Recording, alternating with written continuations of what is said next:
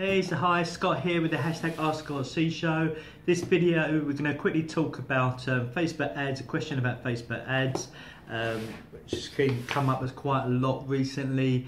And stay tuned to the end of the video, a very short video, but stay tuned to hear about how you can win work with me for a year. If you haven't yet applied, then um, then I'll tell you about that. And we've got the Business of Food and Wine show coming up next week. So we're going to try and get a video out every day this week. I've been really busy last week. Really full on and um, so I haven't done a lot of videos recently so it's to be a lot more videos. I'm to try and promise at least three this week. I'm to try and get five. I'm to try and go for it. So John asks hashtag ask Scott C question and John asks about Facebook ads which a lot of people are talking about. So Scott I've been boosting my posts recently and getting a lot more views but not getting any clients. Yeah I hear all the time talking about Facebook marketing and advertising works what do I do? Right, so this is quite common. So because you said John here said about boosting his post, okay, so this is really quite common here.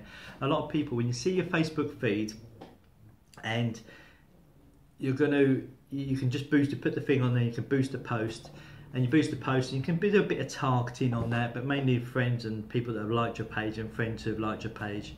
Um, so you do that and even if you're doing it for, I mean it's in dollars, isn't it? It's always in dollars of mine, but five five dollars uh, you can do it in little bits. So you get it out and yes you get a lot more um, views to that that post or that video and you feel great.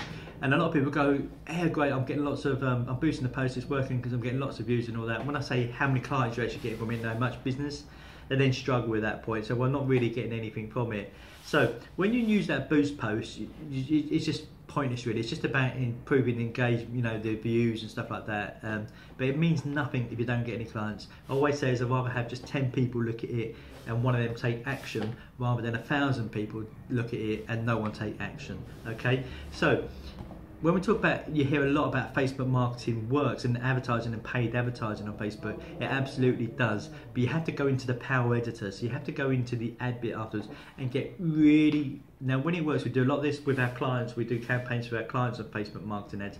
And where we get a lot of results for them is being really, really specific. So it's just not um, people that have liked my page or people like similar pages get really specific about area we get really specific about what the what the offers as well whether it's something that's going to drive them to a list first of all with a bit of content and then um, promotes a product or service or it's going to go straight into providing a product or service.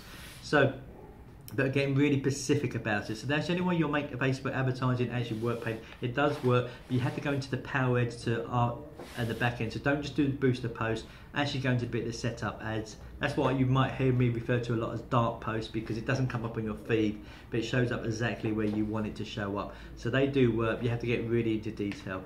Um, so if it's something not done before, then there are videos and things about it, but um, by all means you can you can uh, shoot me up some questions about it as well.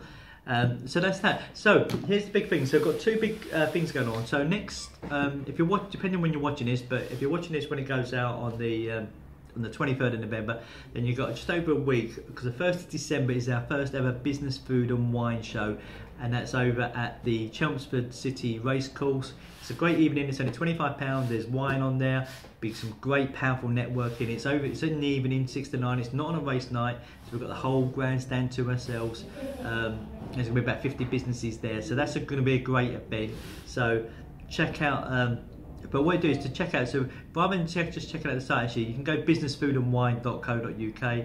Uh, it's a, and we're going to record a live show as well while we're at it. It's going to be something very different, very interesting, very exciting. The other thing as well is at the moment this week, leading up to that, is I'm going to give away five people chances to win me working with them for a whole year. So the whole of 2016, you'll have me working with you on in my mentoring and VIP group and some one-to-one time in that tool. So just go to my website, just go affecting people's lives. Go to the homepage, it's been changed on there now. You see a video of me telling you all about it. Go and have a look on there. All you have to do is buy a ticket to the to the Business Food and Wine Show to enter it to show commitment, and that's it. And you could have the chance. Five people could have a chance of me working with them, and that's worth five thousand pounds. So go check that out, and I'll see you soon for the next hashtag Ask Scott C, and hopefully be doing one tomorrow in the morning. Okay.